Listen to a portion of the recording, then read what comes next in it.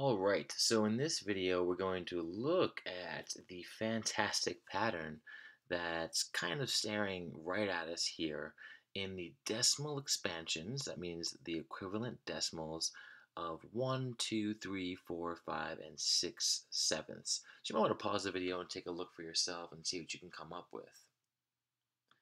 Well, when you're looking for patterns, you know, it's okay to try and pick out anything you notice. For example, you might notice, okay, they all start with zero, and they all have these decimal points here, and you might think, well, what does that mean?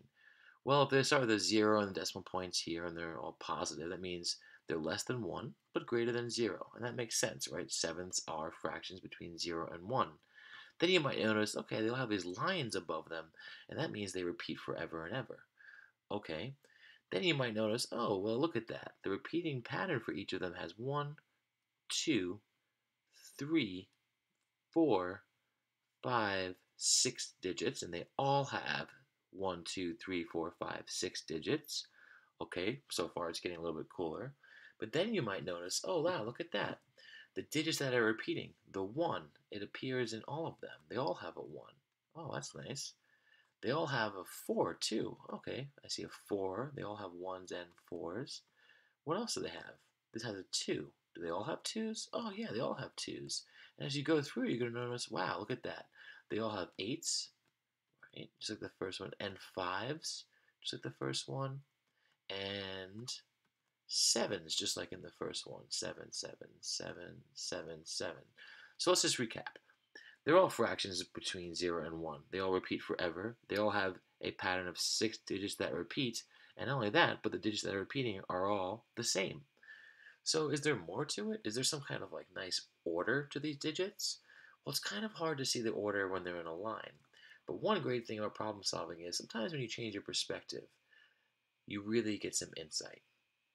So here, instead of writing our numbers in a line, let's write them in a circle and see what happens. So 1, 4, 2, 8, 5, and 7. So in the first in the first decimal expansion, 1, 4, 2, 8, 5, 7, if you look at our circle, it means we start here at 1, and then we go around. 1, 4, 2, 8, 5, 7. That's the first one. Does the second one also kind of fit the circle? 2, 8, 5, 7, 1, 4. Let's see.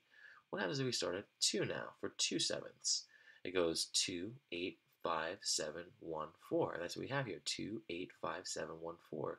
So it seems that if we follow this circle here, kind of like a clock, we're able to find the order of the digits. Could it be that simple? Let's see.